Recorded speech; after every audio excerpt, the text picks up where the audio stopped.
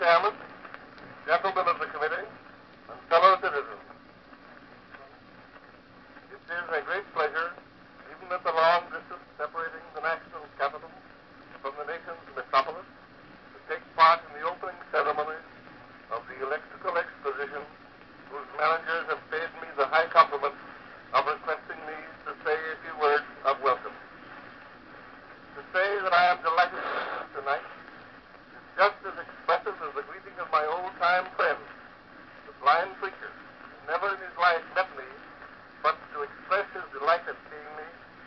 when in fact he had never seen a living face in 20 years. Like him, I seem to see you, and to feel the influence of your presence,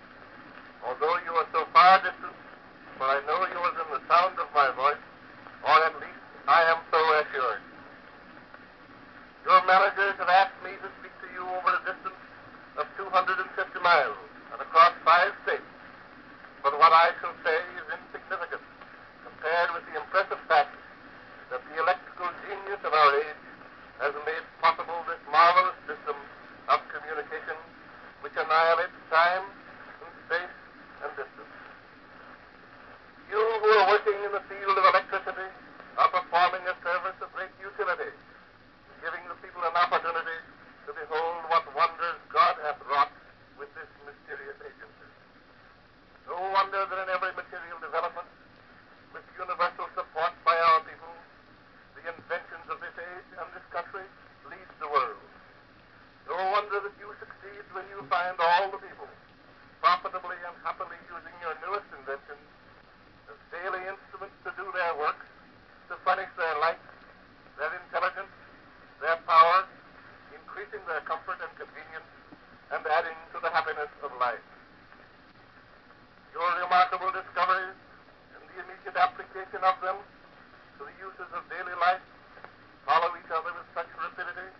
that the human mind is almost stunned with amazement at your triumphs and achievements. Yet so quickly do these appliances enter into our everyday affairs, at the office, the home, the factory, and the shop, that we unconsciously utilize them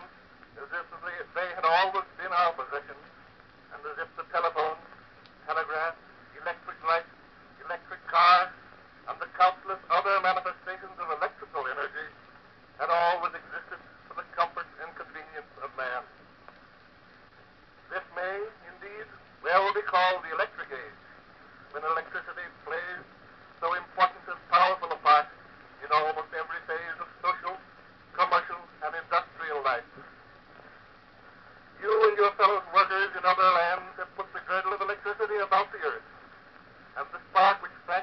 from the sky, is the magic spark which contracts the world into such narrow limits